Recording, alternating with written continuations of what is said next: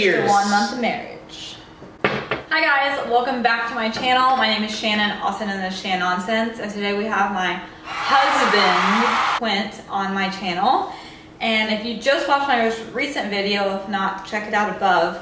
We did a vegan Thanksgiving meal, so now we're actually eating it, and we're going to do a mukbang while talking about wedding planning, like no BS, real stuff, how to do it. Yeah. So we got engaged on February 25th, 2017. So it was a little over a year and a half, a close to two year engagement. We ultimately decided to have a longer engagement to kind of enjoy that engagement process. So after spending some time being engaged, just totally enjoying ourselves, big thing you do is you have to make like a mock wedding list because you can't tour a venue until you know that like your max limit because some can only fit 50, some can fit like 500. And then you also need to sit together and just pick a vibe. Something I didn't want was a like just like a reception venue. Uh, if I wanted that, I would have gotten married in my hometown. And so you sit down and pick out your vibe, and then you can start looking at wedding venues because you can't set a date even without that venue. So that should be step number one. The good thing about the venue that we selected was Shannon was very into nature, more floral things, and so we were actually able to find a kind of flower farm that offered flowers from their actual venue and kind of incorporated those into the wedding, which were absolutely great to have. Um, I know flowers can get pretty expensive with weddings, so it definitely helped in terms of budgeting our wedding out. Now our venue cost what most of our friends cost as well, but we got probably like three thousand dollars worth of flowers in that cost. And not good at DIYing, so they also provide the vases and the tablecloths. Like I said, I don't like to craft, so it's a very pretty venue huddle outside. The inside's pretty. They do the vases and flowers. That pretty much was going to be my decor. So I knew that would save money decor-wise, and plus not having to stress out about having to do things that I can't do. Yeah, I know a lot of people were really into like decorations and stuff. You would see that there was like not really much on the tables, but it still looked really nice because it all kind of flowed together. Oh, the next big thing, as soon as you have your date set, is to look for a photographer. Because photographers and venues are the two things that book up. And photographers are really important because tons of people are photographers, but not everyone is a wedding photographer. Don't book someone that only does senior portraits or babies or on the free time. Like this is something you should definitely like have a big chunk in your budget for because once the wedding is all done, like this is what you'll have. This is what your ancestors will see is your wedding photos. I saw a lot of bright and airy photography that I actually really liked, but that's not really what I wanted for my wedding. So you just, you know, kind of need to break it down what you like and then start talking to a bunch of photographers because budgets are totally different. I talked to some are thousand, like four thousand to find like what fits for you and the perfect package. It definitely helps in terms of photography though, with if you and your partner essentially have like the same kind of vibes that you want to be portrayed within your photography. So like she said, there's airy and such which all look good enough, but like with my kind of hair color, you never know what to expect. And with how we like our kind of editing in terms of photos, we were able to find the perfect photographer for us at an affordable price as well, which was really nice. What's up, Winston? So after that, we actually kind of took a long break. Um, like you mentioned, having a long engagement because weddings are expensive. So we kind of need to save up more to even make deposits on things. But kind of the big next choice was that everyone in my family is Catholic and they usually have a Catholic ceremony and then like a reception somewhere else. His family is not Catholic. At first, we were gonna do a Catholic church ceremony, but we aren't members here in Cincinnati, so it was gonna cost a ton extra. Plus our venue is so pretty outdoors. I thought, wow, we're gonna be wasting like the whole, my favorite part of the venue. So ultimately, like we had decided we like breaking away from my family's tradition, which it's your wedding, you can totally do that. So we kind of, we did break away, but we found a compromise. We found an officiant online who's a retired Catholic priest. What's up, Winston? So we made a kind of like Catholic vibe ceremony with him. So it would be outdoors. It wouldn't be Catholic, but have Catholic vibes. So that's always something to think about is how to please family, but still have your own vibes and feels. Yeah, and with that, the way we kind of set up with him, you could pick and match from other religions and so the next thing I had to do was get my dress. So I got my dress about 11 months out. Technically I didn't order it until nine months out. But depending on how long it takes you to find a dress and then to pay it off, pay it off to order it and when you'll find it, you need at least probably a year close to a year finding it. I know some people you watch shows they like cry when they find a dress. They have like the dress. I think I could have found a lot of the dresses just because I'm not attached to objects. Like I like what I like. I have a style.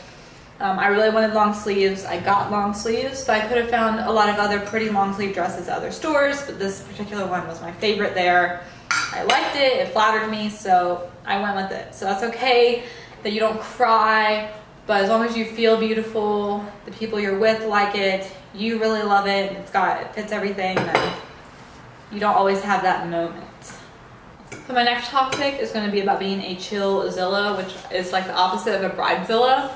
So with that, how I stayed pretty chill the whole time, and with that was like the long engagement, making lists. Like I checked the Knot website has a really great checklist, but then I went through that and I made a list on my phone of even more details. I checked things off, figure out what we wanted. like, there's no reason to stress. It's your day. You should be happy about it. Of course, like we did have little fights about some things, but just stay chill. We would basically break it out into sections. So she would take a section, I would take a section. So for example, I was kind of in charge of coordinating with the bar, coordinating with getting my suit. I kind of plan the honeymoon out as well. Having that split in duties really helps because it doesn't overload one person or the other. And then obviously if you feel like there's not enough progress that's going with one thing, the other person can help step in and provide some direction if needed as well. Yeah, you so, get a ton of emails, like literally every day I had wedding emails, so it's nice to get the bar, the DJ, the honeymoon contact, the suit, because I have to deal with that, or I had like my dress and the venue and the photographer, and things like that. So I know some people are afraid to put this kind of things on their future husband, but like a DJ, like you can decide it together, but like that's not hard contact to talk to. Well, a big one is setting your color theme, scheme. I feel like a lot of people pick like two colors, and we did the opposite of that. And what we did is since we had those all those flowers, we decided our flowers would be our colors. So we did everything super neutral. The guys were in gray, the girls were in like a mauve gray, gray napkins. Things like the cake were gold, gold writing on things. So it was just like gold, gray, ivory. And then the flowers, we did like a very fall theme, like lots of greenery, ivory, burgundy, mauve. A lot of designers recommend picking like five to six colors that complement each other so you aren't freaking out. Like if your colors are pink, you have to get that exact pink on everything and then it's just like an overload of pink where you can pick multiple colors and can still look nice. Yeah, in, inside for our reception, it really helped that it was all kind of like toned down, natural. You know, the tables were wood, the chairs were kind of wooden, so it had that. All those colors were able to pop very well. Really, we can kind of get into like the week of and like the wedding itself because that's like the craziest time. So when setting our date, like when we wanted a fall wedding, I like hardcore researched. And October 27th it said was always in like the 60s and since that's the end of hurricane season like october is super dry in ohio and like the only chance of it is a hurricane so the end like i like was banking on it was going to be okay. And i kept checking like forecasts from even like six weeks out which is kind of fake but it's a predicted and everything was fine. And then the week of it was like oh it's going to be 45 degrees and rain and when i'm nervous usually i'm i will still eat like i like stress eat like I was like I was so anxious and upset that like I literally could not eat that week. I could not finish meals. I was having breakdowns. And what we did to resolve that is we did have to buy a tent last minute, which was like a few hundred dollars. That More was annoying. but it helped a lot because it went on the outside of our venue where the bar was, where more people could hang out. So our venue was very small, intimate on the inside. And then we still did it outside, but kind of sprinkled in the beginning of the ceremony. It was a little bit colder, but we just like reminded our guests, like, hey, bring an umbrella, bring a coat. Like, we're still doing this. I want an outdoor wedding. And it happened, and it was so pretty. So don't be afraid of the weather. I wish I wouldn't have freaked out so much. Yeah, my tip would be not look every day leading up, and don't look six weeks out. And that's what the only complaint about our venue is it was so small. Like I absolutely loved everything, but since it's so small, an indoor ceremony would have worked. But everyone would have to stay at their tables. It would have been awkward. So like maybe try if you're gonna do an outdoor ceremony, make sure you have a for real backup. Like I really thought I wouldn't need a backup. So look into that. So I think one of the last things that you really want to do, uh, be right before the wedding, and, and really the week of, is make sure you have everything done. So we kind of sat down and went through that again just to make sure that we really, you know, have completed everything before the wedding. That way we weren't really missing anything. And that way we could actually, you know, start packing for the weddings. And then just to get into the wedding, did things go wrong? Would I want to redo anything? Blah, blah, blah. I would definitely have time to like get ready slow. I had time to get breakfast with my bridesmaids in the morning of. We got ready at a very slow pace, plus even the hair and makeup people finished early. Um, I only had three bridesmaids, I had three groomsmen. I think that's really helpful. I mean, you do you if you want to have eight or 10, but it's nice because you can stay on track with your hair and makeup. There's not a lot of chaos going on or different opinions and you know, people can still mean a lot to you without being in your bridal party. I could have probably chosen like 12, honestly. I started getting like really nervous before, not to like get married, but I think just like I don't like to be in like in front of crowds really. So I was really nervous. I remember talking to my one bridesmaid. She goes by like a different name now, and I called her her old name because like I wasn't even like processing. Like I like couldn't feel anything, and I was honestly like shaking. Like it was really crazy. So have time for that. Um, nothing went wrong except it sprinkled, but we still did it outside. Um, my only complaints is it was like I guess like when Halloween parties were, so a lot of people left early, and that kind of I knew family were gonna leave early because they were all two hours away, but like friends left early too, and that kind of upset me. But I guess it's okay. So we had to move up like our sparkler send off like a whole hour up, and we already bought less sparklers, so we knew people wouldn't stay until the very end. But I don't know, that kind of sucked. But it was fine. so the people that really matter the most stayed, and we kind of had fun until the bar closed and everything.